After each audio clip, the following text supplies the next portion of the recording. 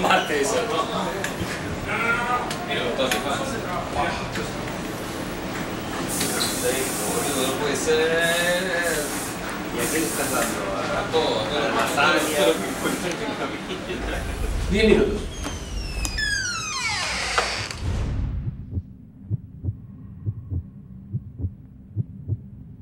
Well, you will have one as soon as we settle. We want to have it. One minute? No, no, yes. Minuto? Yes.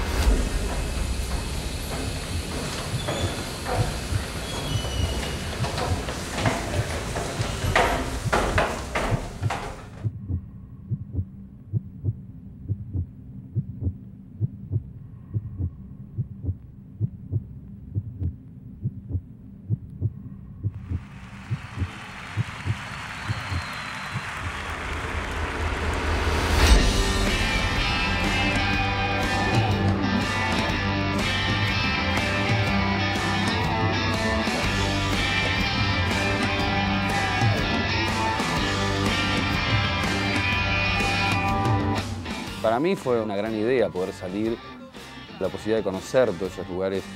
Eh, la gente la geografía, me interesa mucho intercambiar esas cosas, ¿no? Y, llevarme la- las postales más generales posibles también de, de los lugares.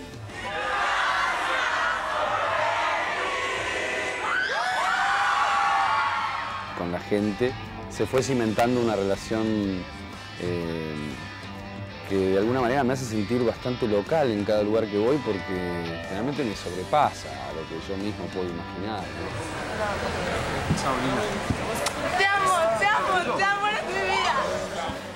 Uno de alguna manera siente que las cosas eh, tienen un, un doble sentido. O sea, por un lado son profundas porque se produce un, un verdadero intercambio de emociones con gente de diferentes lugares y también es efímera, ¿no? O sea, que es profunda y efímera. Efímera en el sentido de que, bueno, uno está un tiempo en ese lugar y después chasqueas los dedos y ya pasás como de pantalla, ¿no? Y si viéramos esto como un videojuego, realmente eh, parece que va superando los, diferentes momentos porque han sido muchísimos los shows en donde salimos abrazados pensando realmente que ya eso no lo podíamos ni, siquiera superar, que habíamos llegado a- a sentir lo, máximo en, cuanto a la cuestión de comunicación con la gente, en lo que pasa con nosotros.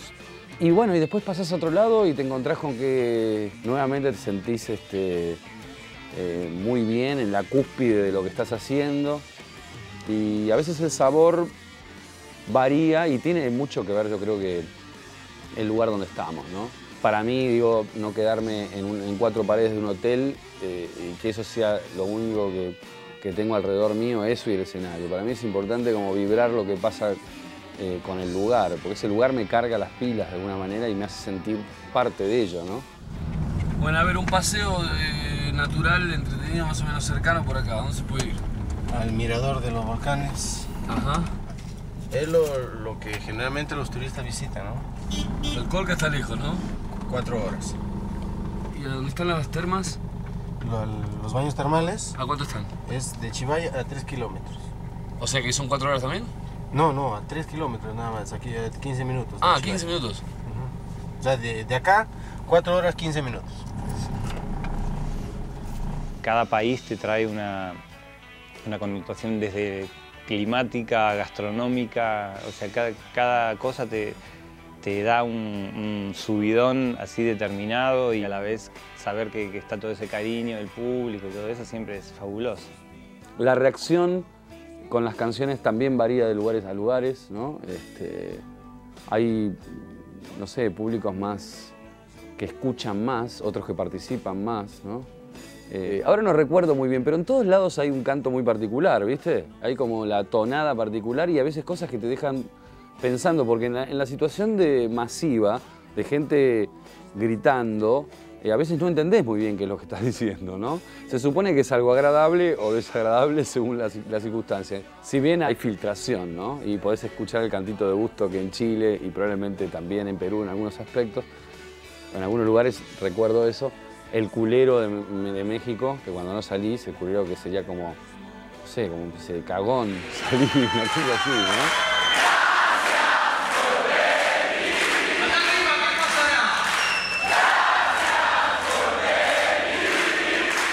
También depende uno cómo, digamos, cómo esté de ánimo en ese show. Yo realmente siento que todos los shows son diferentes, ¿no? Así que en, en todos uno tiene una energía particular y a veces uno está más comunicativo, otras veces deja que la música sea la que, el vehículo único.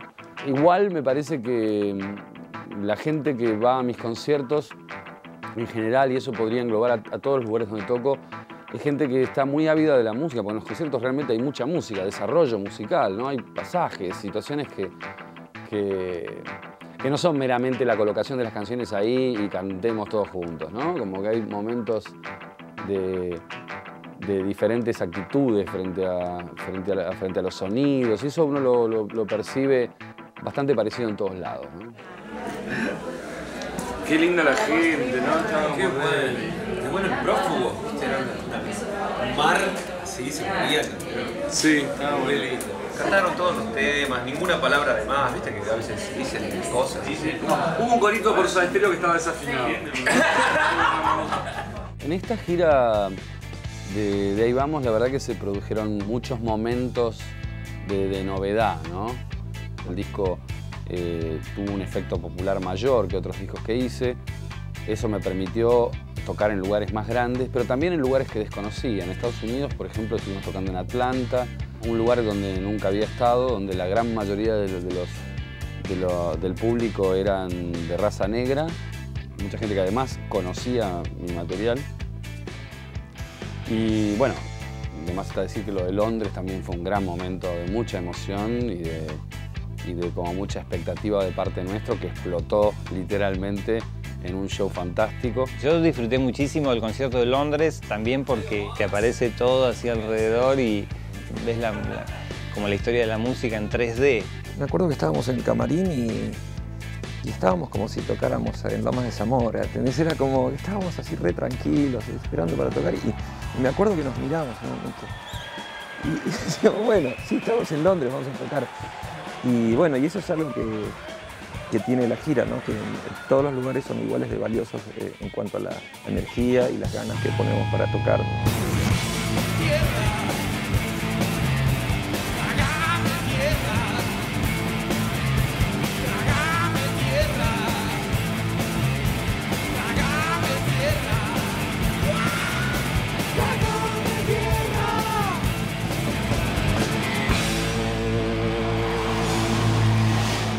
El tiempo, una vez que ya tocamos todo el disco, se fue armando una, una especie de lista natural, digamos, que en algún punto respetaba algo del disco, pero que bueno, eh, se movía según, digamos, cómo, sen- cómo sentía que tenía que ser el show. Y después fui agregando algunos temas hasta que se conformó la cosa. La otra opción sería hacer ecos y pasar directamente a T para 3. Saltear toma la ruta. En vez de tomar la ruta. La fin sucede la excepción, uno entre mil, adiós y bomba de tiempo va acá. Entre medio de todos, ¿sí? Ahí. A mí no se me hace largo el show, la verdad, y sin embargo he hecho shows de, dos horas y media, lo cual me parece desde el punto de vista de- del público mucho. Pero a esta altura también de, mi trayectoria, digamos, hay muchas cosas que no, estoy dispuesto a, a hacer. O sea, me parece que hay un montón de canciones que también la gente quiere escuchar y, y de alguna manera concilio un poco lo que quiero presentar y hacia dónde quiero apuntar con otras canciones me parece que no puedo dejar de tocarlas y que tengo que incluirlas. Te vi que llorabas, te vi que llorabas por él. Voy a ser tu mayordomo, nos harás el rol de señora bien. Se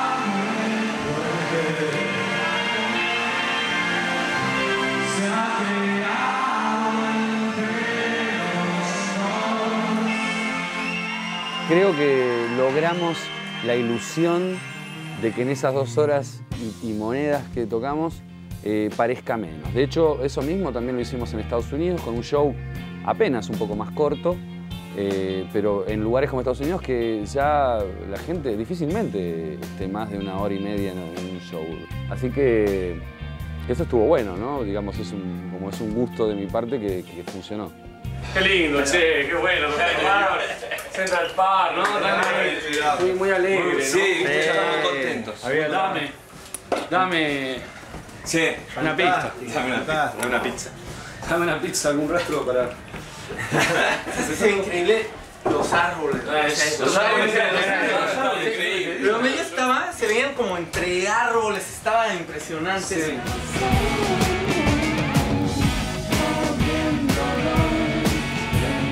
Otro show muy importante eh, para mí eh, fue un show que hicimos en Palma de Mallorca.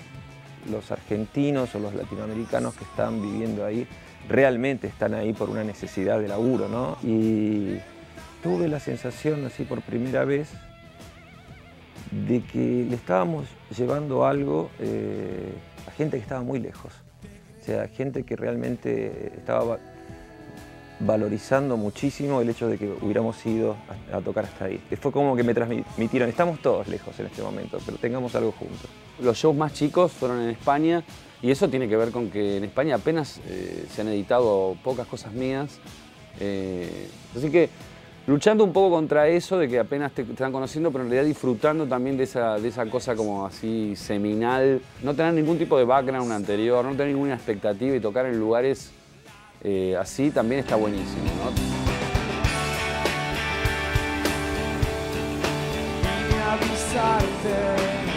Eh, un show que a mí, para mí fue el mejor de la gira de, de España, que es el show que hicimos en Bilbao. A mí me, me- me encantó, o sea, después de, de haber tocado también en, qué sé yo, para 15.000 personas, ponele, en, el- en la gira de México, en lugares muy grandes, de repente tocamos en, en un pub. O sea, el escenario era una tarima de 40 centímetros, ¿no? Y de hecho estábamos todos los músicos arriba del escenario y la mitad de mi pedalera estaba atrás de una columna. O sea que yo cuando tenía que pisar un pedal quedaba fuera de... eh, que quedaba escondido atrás de una columna. Yo tenía el platillo de Sama acá al lado, tipo compartiendo monitores, no sé, era una situación muy atípica. Y, y- la cercanía de la gente. Esa sensación de tener toda la gente parada adelante fue, fue muy lindo, fue un muy disfrutado. Me da la impresión de que cuando uno toca en lugares muy chiquititos, haces un poco más lo que se te canta en eso, ¿no? Y la verdad es que en esos aspectos a veces gana la música. Por eso la sensación es que cuando uno toca en lugares grandes necesitas conectarte todavía más con la música, ¿viste? Porque es fácil perder esa cosa y entrar ya en el espectáculo masivo que tiene s- otras reglas, ¿no? Que tiene reglas que tienen que ver con lo demagógico, eh, que a mí siempre me asusta bastante y le huyo. Eh, pero por otro lado juego con esa idea de, entre paréntesis, poder, digamos, eh, que uno tiene frente a toda esa cantidad de gente.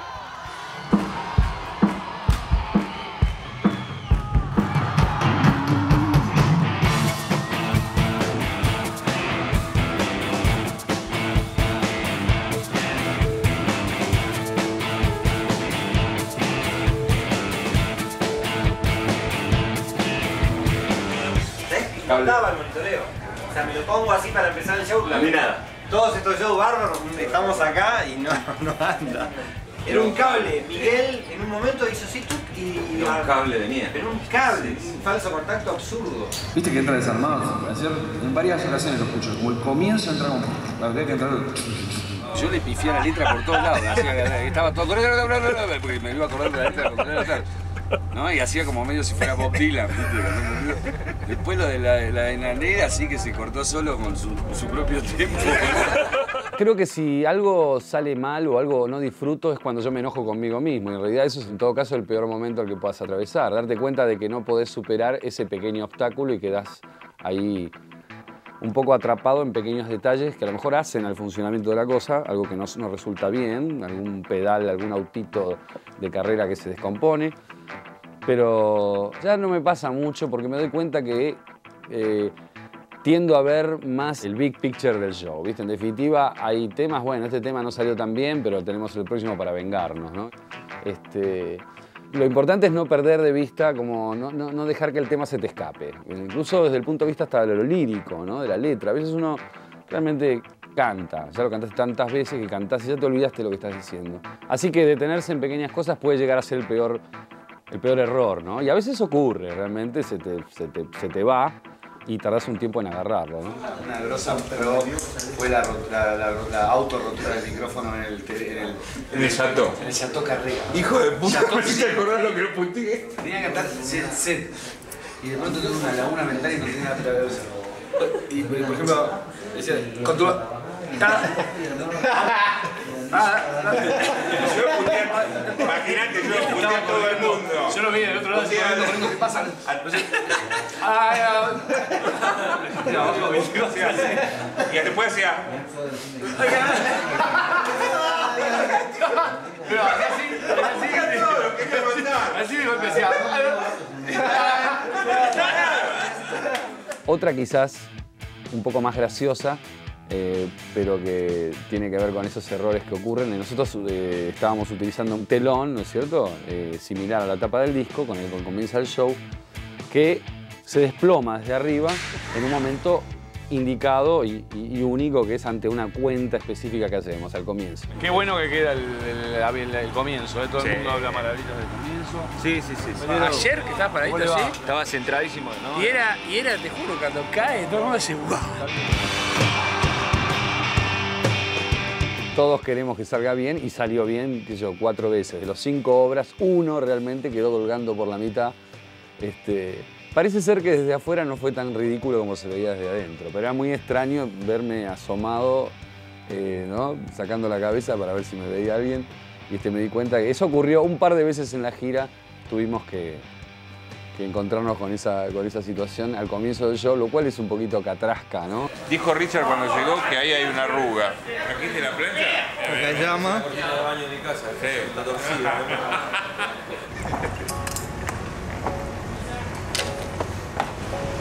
El debut siempre es irrepetible, es ese momento único de encuentro con la situación, sobre todo con los más fans, porque son los primeros que sacan la entrada, los primeros que van a estar ahí. Así que, de alguna manera, si bien contás con una recepción muy calurosa de entrada, también hay un montón de cosas que se tienen que poner ahí en, en funcionamiento. Como decía, disfrutar ese momento, esos cuatro o cinco minutos, lo que sea, este, y que no se te escapen por el costado porque estás pensando en otras cosas. En un debut es más difícil. Una vez que ya las cosas empiezan a funcionar, bajás todo ese nerviosismo y te dedicas a disfrutar y que te importe todo menos. ¿no? Mira qué lindo el, el altar, el altar, ¿eh? Hay que persignarse. Están apagadas, tenemos que prenderlas.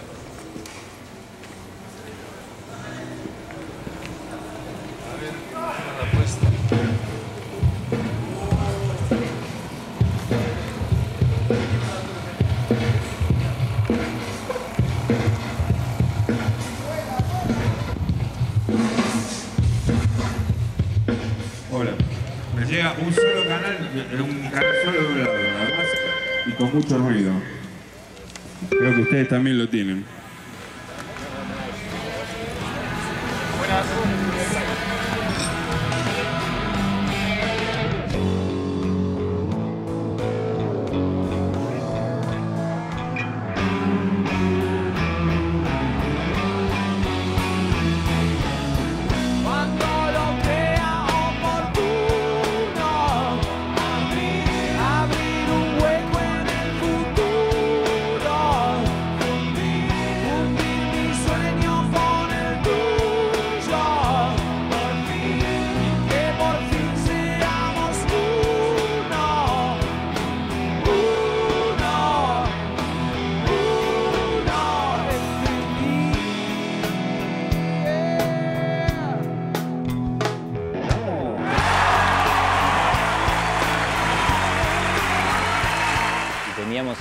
Nacional de México, que es realmente imponente. Y recuerdo que tocamos el primer tema, Al fin sucede, y en el último acorde Gustavo giró hacia nosotros y sonrió de una manera que, que yo lo pude ver como un estado de felicidad así que en un punto todos teníamos. Ahí fue como comprender que estaba todo bien y que realmente la gira iba a ser lo que fue.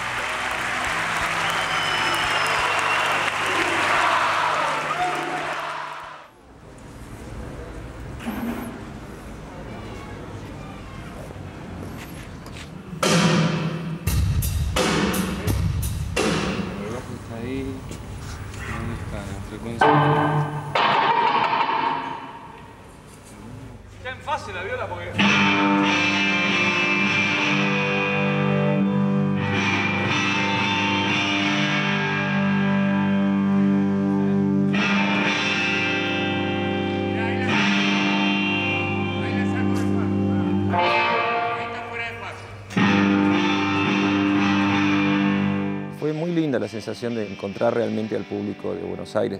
Fue encontrarnos con un público que lo sigue a Gustavo desde hace años, eh, y el público de Soda. eh, la gente de, Buenos Aires tiene otra cosa, ¿no? Que es, eh, bueno, tocar en casa. Y yo la pasé muy bien. Hacía mucho que no, tocaba en el estadio este, que es el templo del rock, etcétera, etcétera. Eh, me encontré con el escenario más chico. Se, se hizo todo así. De abajo se ve bien. Me- ¿Lo, lo viste de abajo un poquito?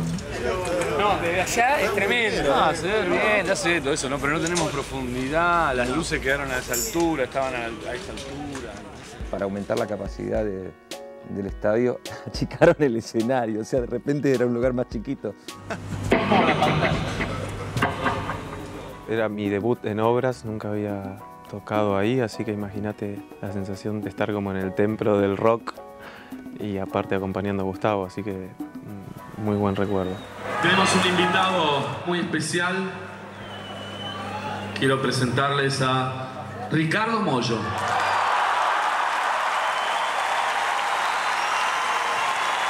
Ricardo había escuchado el disco y que tenía muchas ganas de participar. Y por otro lado, este, servir un poco para, para cortar con esas especies de antinomias medias ridículas que ocurren en, en nuestro país, entre enfrentamientos supuestos que hay entre músicos. Así que me pareció genial, lo llamé por teléfono y le dije, por supuesto, vení, me encantaría. Y, este, y estuvo buenísimo ese concierto en un marco donde no, no faltó nada. Bueno, a ver, tenemos para la letra del crimen. La carpeta de Mercedes Sigo con la letra como. Eh, ¿Te recordás de ahí? Sí, pero hay. Eh, ¿Cómo la ves? Yo pienso que está bueno. Por ejemplo, a partir de esta parte. ¿no? También de que te enganches con alguna, con otra cosa, pero digo. Por ahí está bueno cantar la segunda. Acá está ya, ¿viste? No basta ya. Ah, bueno, claro. Este lo van a quitar usamos este. Sí, sí, sí, es para pasarlo un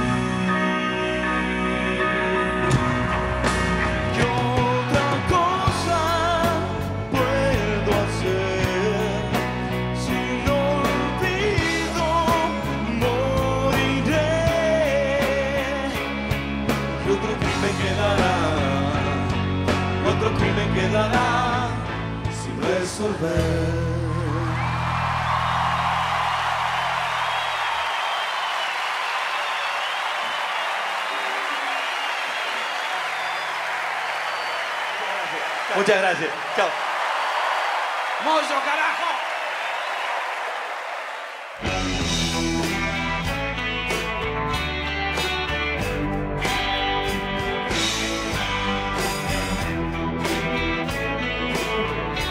También tuvimos la oportunidad de ir por Perú, por lugares que hacía mucho que no íbamos, salir un poco a veces de las mismas capitales, ¿no?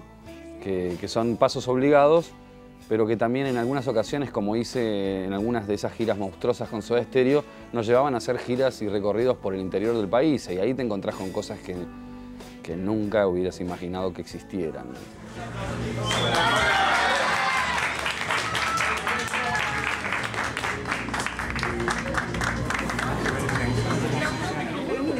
Cuánta gente. Arequipa está como dividido en dos comunas diferentes, ¿no? Cada cual tiene su, eh, su representante, su gobernador o como se llame. Y a mí me tocó una parte, ¿no? Este, y ellos me entregaron como una especie de, ciudadano ilustre después de muchos años de ir ahí. Lo cual también está buenísimo porque es un lugar que me gusta mucho, Arequipa. Y este, fue muy divertido estar ahí este, con esa gente esperándome desde hacía mucho rato, ¿no? Así que bueno, la próxima vez que vaya espero tener la misma posibilidad con la otra, con ¿En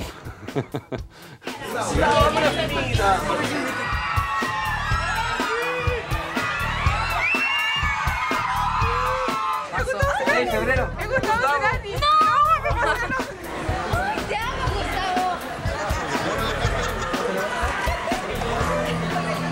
¿Sabes qué? A ¿no? No, déjame lo quito porque está muy abajo. No lo huelas, ¿eh? No, no necesito. ¿La pintaste vos? Sí. Muy bien. Mirate, este paisano es argentino, cordobés. Sí, ¿en serio? Un saludo, un saludo, Gustavo. ¡Ay, te adoro! No, tan cerca me matas. Un saludo para la gente de Arequipa. Oye, será que está excelente tu disco, está lleno de energía y da ganas de escucharlo en vivo, está genial. Dos preguntas. Eh, envuelto en un remolino de fans, de, periodistas, de, de gente. Es tan, viste, irreal la situación. Por lo menos para mí, ¿no? Que soy como medio un colado en esta situación.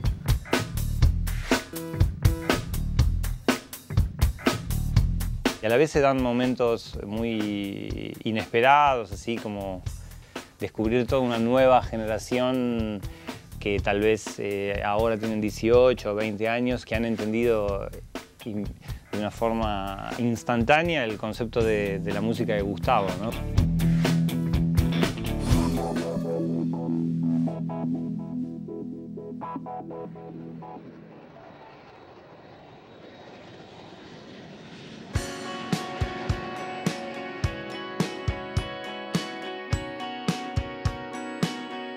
Los aeropuertos y los viajes en avión son las dos cosas que no disfruto, ¿no? Todo lo que tiene que ver con el transporte en sí. Sí, lo más tedioso, lo más. eh, para lo que tenés que tener paciencia es el tiempo de espera. La primera vez que te das de gira está buenísimo, disfrutas hasta de la zafata y después no. Cualquier cosa que te pongas a hacer es al pedo.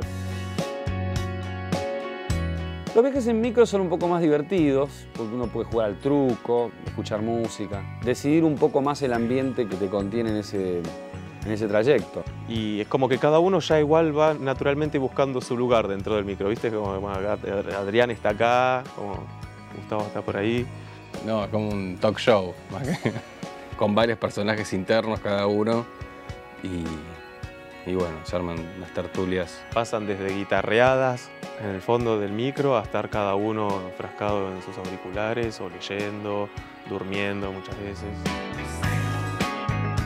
Yo pienso que lo que me dan ganas de tocar y de salir, de viajar y de soportar los aeropuertos y los aviones y, y- y- y los hoteles, etcétera, tiene que ver con que la convivencia entre nosotros es fantástica. Y en general siempre me preocupé mucho de eso y creo que, que esta, particularmente en esta gira, también lo hemos notado todos, ¿no? Es, es una sonrisa continua, ¿viste? Es alegría.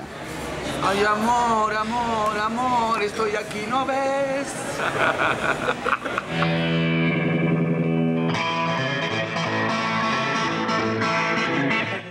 Viva el boogie, boludo, es todo boogie.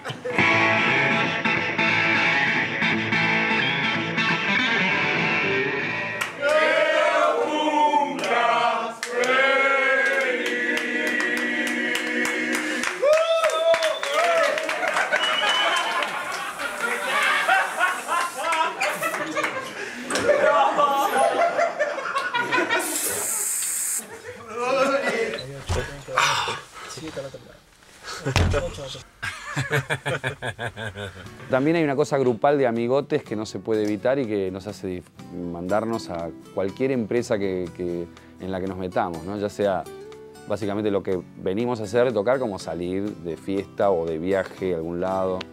Gustavo me ha hecho ir a la playa como creo que tres o cuatro veces en esta gira, lo que es demasiado. En un momento ya me pedía perdón. Pero bueno, fue cosas muy graciosas. Chicos, ¿quieren hacer el on? Sí. Vamos, chicos.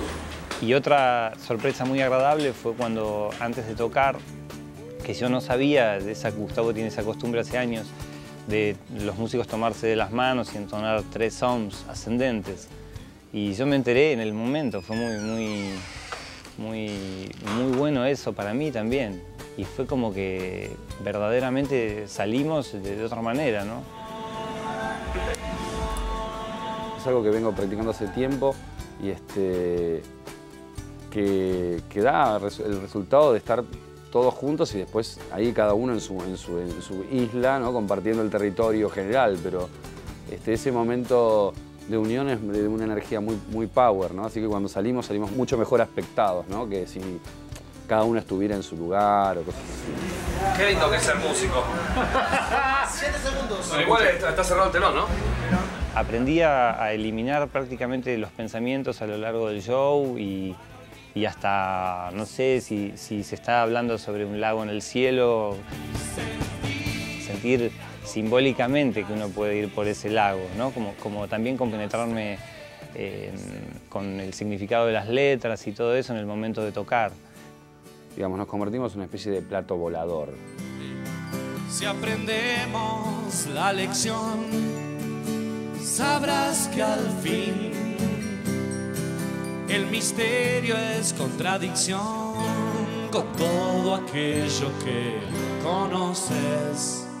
La evolución de la banda durante la, la gira eh, para mí fue notable. Con todo lo que implica la banda, que además de, de la, la relación musical, implica también una relación humana, ¿no? Y, y empezar a conocernos, digamos, en, el escenario, ¿no? Porque además de lo- los ensayos es, bueno, ¿qué, qué relación tenemos los músicos tocando en el escenario? Hago así porque es el gesto del instrumento mirando al otro, ¿no? Uno siempre mira al otro músico con su instrumento.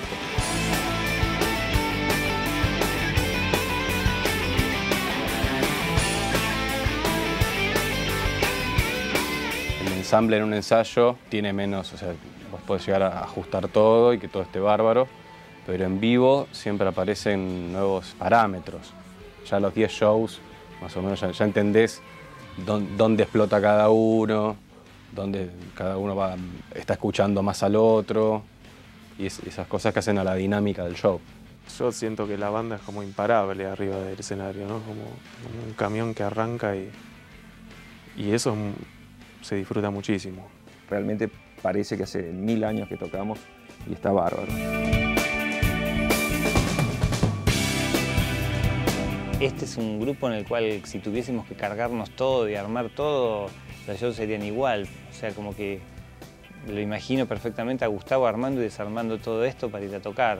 Como que si tenemos la suerte que todo se dé en una magnitud profesional adecuada, genial, pero en el fondo también nos, une un entusiasmo extramusical que, que eso es incomparable, ¿no? Linda con lo que sentíamos cuando éramos chicos y ensayábamos en una habitación o en un garage de una casa y soñábamos con toda esta vida de viajes y, y que después finalmente logramos, por suerte.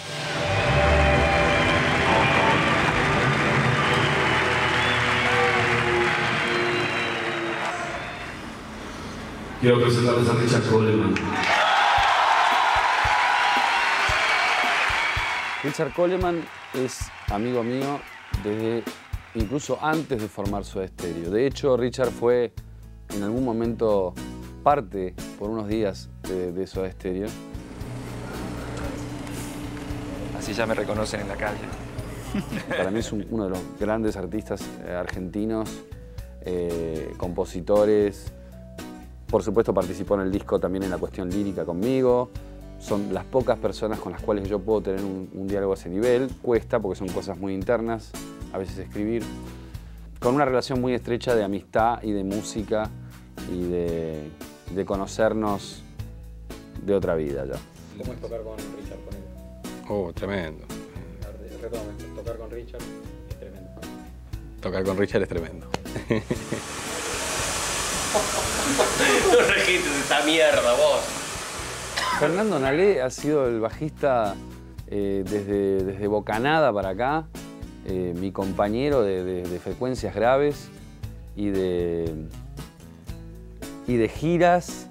Es este, uno de los pocos bajistas que yo conozco tan es certero como nadie, es como una especie de magiclick, no falla jamás, él está siempre ahí Y Nalí lo conocí, lo conocí durante la grabación de Ivamos eh, y es un divino, Mr. Nail, le decimos, porque fue muy gracioso cuando, lo- cuando llamaron a la habitación, estábamos en Nueva York y, y era Mr. Nail.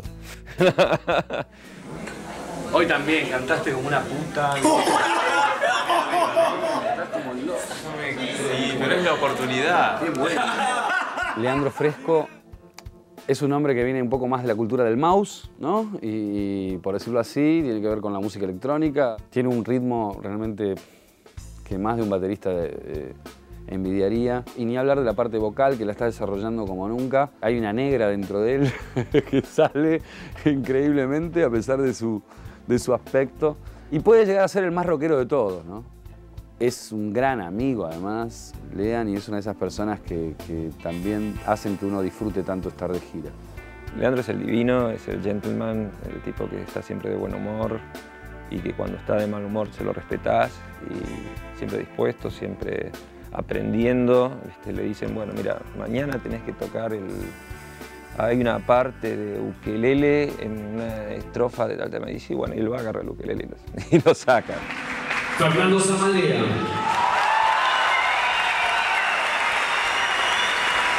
En el caso de Samalea, de alguna manera, eh, también hay una conexión desde la época, desde el, desde mediados de los 80, cuando, cuando fue parte del Fricción. Y él se acuerda de cada cosa. Eh, nos pasó ahora en que tocamos en Mar del Plata, que a Gustavo se le ocurrió tocar Héroes, digamos, que, me, encantó, ¿no? Hacer una versión de Héroes con esta banda, además que hace tanto que estamos tocando. Y, y Fernando se acuerda y dice, ¿sabes que la última vez que toqué Héroes fue en el 87 en Mar del Plata? Digo, ¿cómo te acordás de eso, Fer? Claro. Y sí, fue un momento claro, pasaron 20 años, así, ¡buah! Yo creo que no hay nada mejor para un baterista que empezar a tocar también otros instrumentos. Él tiene un- ya un conocimiento mucho más importante de la música y los sonidos, entonces el aporte de él es valiosísimo.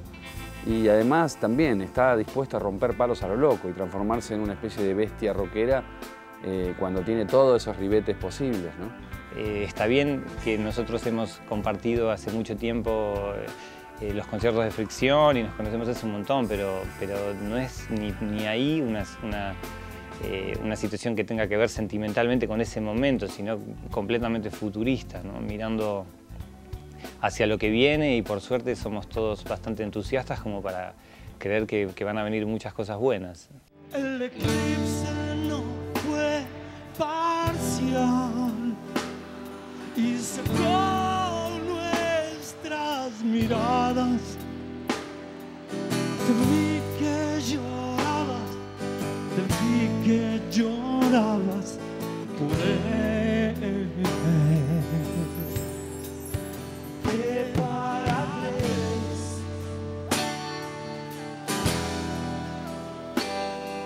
Creo que este momento será recordado como, como un momento muy alto en- de la música de Gustavo. Siempre lo recuerdo a Gustavo con los ojos cerrados allá en la consola, escuchando y, y soñando como solamente el que compone sabe cómo quiere vestir su música. Lo veo así como en su mejor momento. Sé todo lo que trabajó por el disco este, todo lo que atravesó hasta poder empezar esta gira, así que me parece fantástico la repercusión que está teniendo el álbum. Y, y nada, es cosecha lo que siembra, me parece.